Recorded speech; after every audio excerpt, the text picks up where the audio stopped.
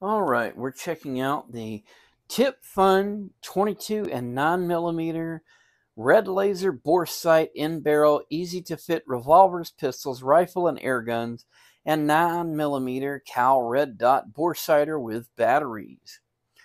This is around 20 bucks on Amazon. You can see it's got the shell for the 9 millimeter. That's a laser. And then it's got this that actually looks more like a a 556 but this screws on it and then it goes in the end of the barrel. So let's start with safety. Obviously the revolver doesn't have the capability of having any ammunition in it. There's no magazine in the and there's nothing in it. So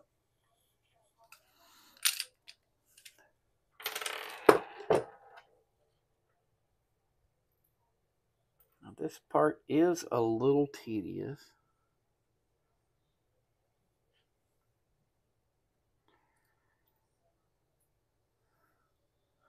But we've got it lighten up.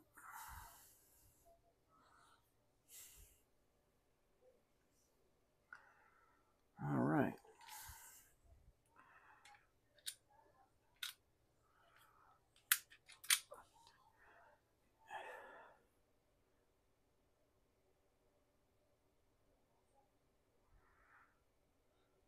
All right, that's what it looks like on the camera.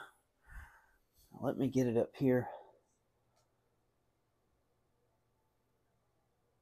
Yeah. All right. The 9 millimeter one works. And it's accurate. At least it is with the Taurus. Uh, it's the Taurus Millennium G2, which is the PT111. So testing it in that it works just fine. Let's put the batteries in. The one that's for the 22.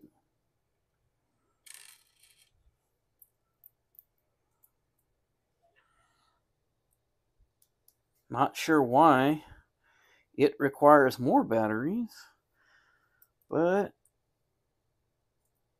it seems to. It didn't want to screw all the way down with four batteries. Here we go.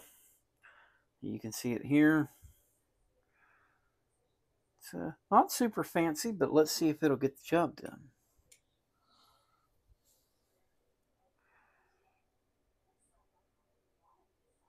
Looks pretty accurate to me. Now, let's see.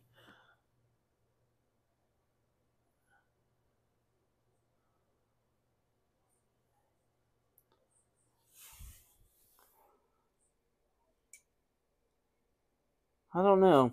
Might be a little bit high.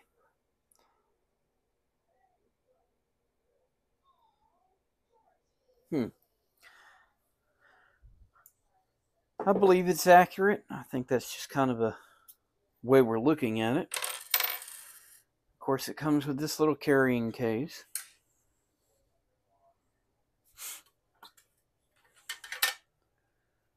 You can back together in it. Overall, it's not bad. It's uh, just as good as the ones that you buy at like Academy. So uh, it's a fraction of the price. I don't foresee any problems with it.